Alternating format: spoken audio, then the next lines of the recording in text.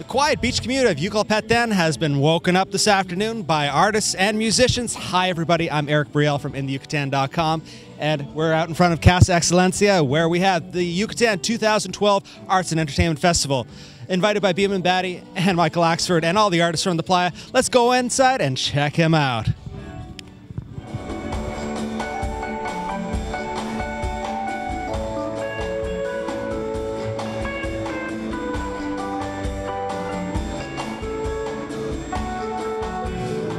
So, guys, we're here with Gary DeRose. He's our uh, MC for uh, the uh, Yucatan Arts and Entertainment Festival. Now, Gary, I know you were recruited like at the last minute because Mel had to go back to uh, the States for uh, family emergency. Our arts and prayers go out to her. So, Gary, tell us, what are you going to do to keep these guys entertained this evening? Well, uh, Mel's shoes are, are big shoes to fill. Any of you who know Mel know what I'm talking about. But I, uh, I really, I'm just hoping to introduce the bands and uh, in between while they're setting up equipment, uh, offend as many people as humanly possible. Well, Gary, I'm sure you're not going to have a problem doing that with your experience with the Yucatons, but thanks very much for coming out this evening. Pleasure. It's great to see you, man. Wanna take on me? Can't you see I'm no good without?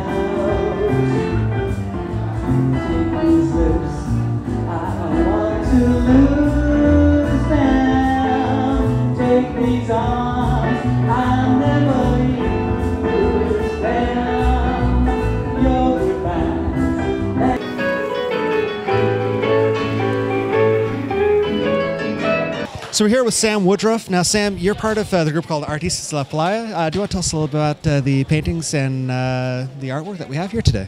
Okay, it's um, an artista, a collection of artists uh, of all types and all, and arti- our artisanias too, craft makers.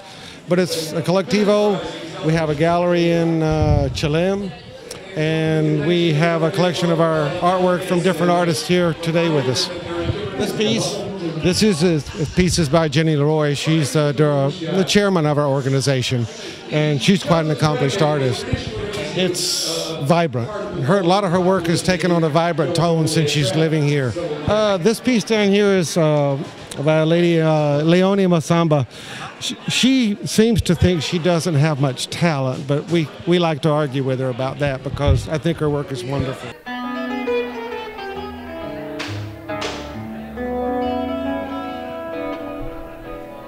We actually had a pretty good turnout, uh, despite the weather looking like uh, that it wanted to rain on us. But I said a little prayer, and the rain gods kind of seemed like they agreed with me.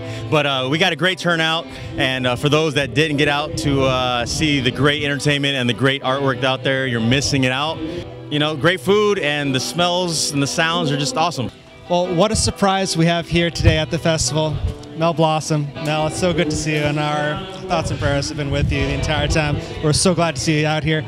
Tell us, uh, you had something to say to the camera for us. Hello, everybody. How's it going? what? So, Mel, uh, rumor has it that uh, Gary has uh, decided to uh, invite you to come up to say a few things with him on stage. I'm seeing if I can get enough alcohol in me to, to manage doing that. I think that we have a, a great bar for something like that here. I'm in the right spot. I, I'm, I'm camped out at the about to work spot. So. the, the about to work spot's always the best spot uh, in the bar here. Did you see I have some of my art here? I have, and actually, we're going to head over in that direction right now. Let's go take a look and see what Mel has uh, over on display on the wall.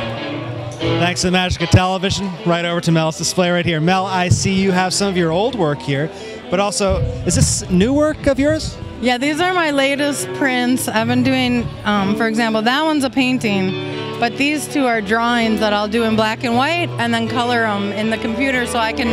I want to start making products like with mugs and beer mugs and I've actually I get uh, a lot of people in Merida have started hiring me to do really fun kind of Andy Warhol type pop art illustrative um, portraits of their of their dogs so that's been really fun too. Awesome. Now, uh, for, for the audience out there that wants to commission a piece or buy some of your work, how can they get a hold of you? Um, I have a webpage, talentedbitches.com, which is pretty much the central of everything my comedy, my art, everything. So, yep, and there's contact information there.